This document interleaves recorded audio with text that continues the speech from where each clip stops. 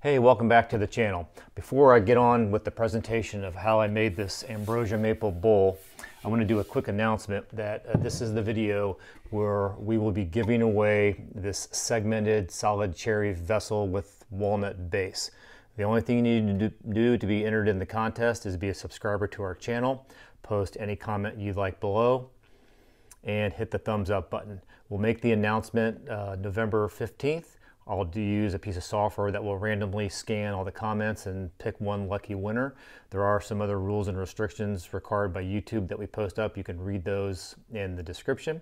So um, feel free to subscribe, post a comment, and give us a thumbs up, and that will help our video get out to more uh, folks out on YouTube, as well as enter yourself into the contest to win this free vessel. Thanks, and now we'll get back to the making of this bowl.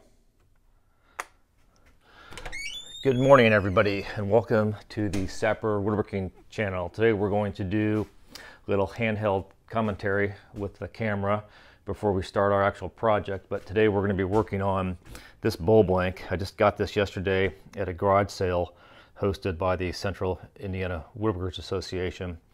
And uh, initially thought this was spalted maple when I saw all this figuring on the end grain, but upon closer inspection, you can see these little holes and that tells me that this is actually ambrosia maple. Now spalted maple and ambrosia maple aren't actually uh, separate wood species.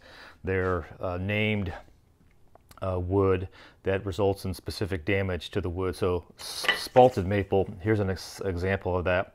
It uh, is created by fungus and bacteria that gets into the wood when the wood starts to break down and rot.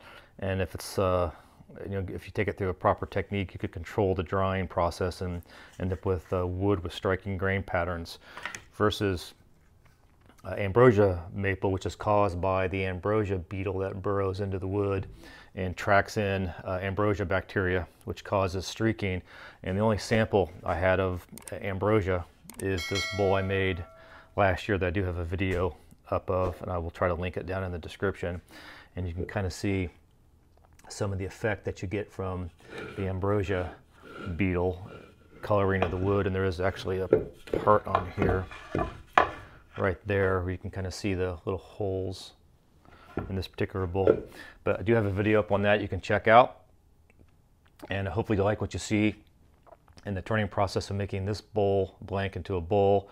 And uh, just for a preview I will have an eventual video up on this segmented bowl made out of recycled skateboards and I'm in the process of also making another segmented uh, vessel out of uh, these walnut pieces with a lot of sapwood accents. So, you know, if you like this video and you get something out of it, please consider subscribing to the channel. It really helps us with YouTube and getting our video and content out to more subscribers. And what the heck, it's also free as well. So just hit that subscribe button you see on the bottom of your screen or someplace on your phone. And uh, we'll get on to mounting a faceplate chuck on this and we'll get this thing starting to turn.